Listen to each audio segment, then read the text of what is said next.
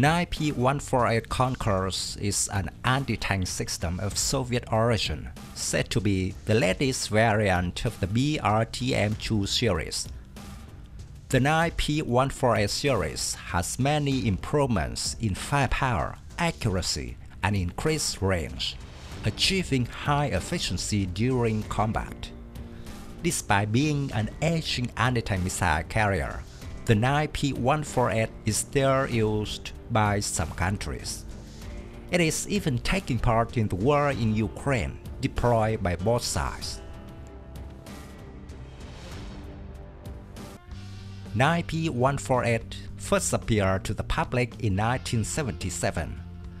The self-propelled anti-tank system has a weight of about 7 tons, an overall length of 5.75 meters, a width of 2.35 meters, and a height of 2.3 meters.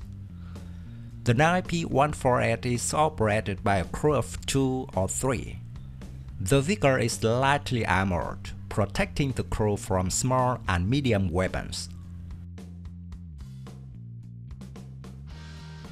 The anti-tank weapon system is placed on the BRDM2 4x4 chassis, equipped with a 440 horsepower GAZ 41 gasoline engine, allowing it to travel at a maximum road speed of 90 km per hour and a range of 750 km.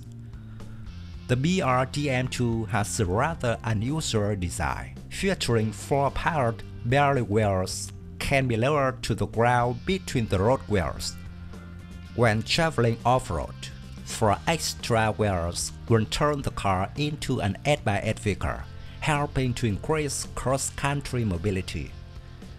Vickers is also fitted with a center tire inflation system, which can be adjusted to suit the terrain type being crossed.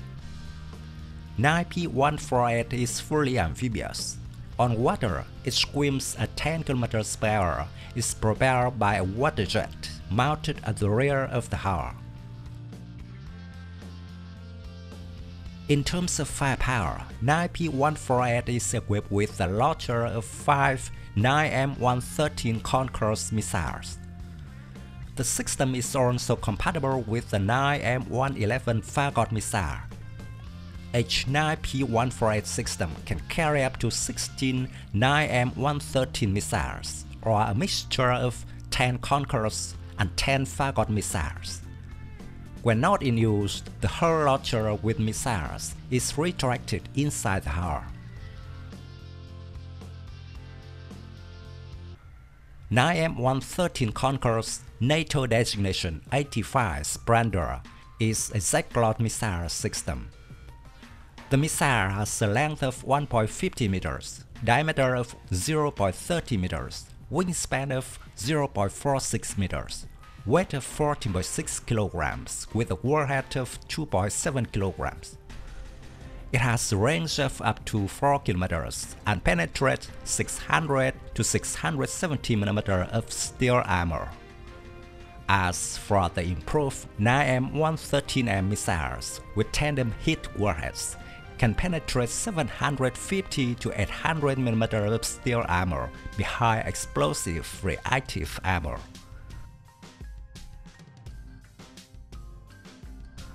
The Konkurs missiles were widely used on the Soviet BMP-2 infantry fighting vehicles and BMD-2 airborne combat vehicles. Alternatively, these missiles can be launched from a collapsible tripod launcher in a concealed position or behind cover. Production of Konkurs missiles reached at least tens of thousands, and substantial stocks of these missiles are left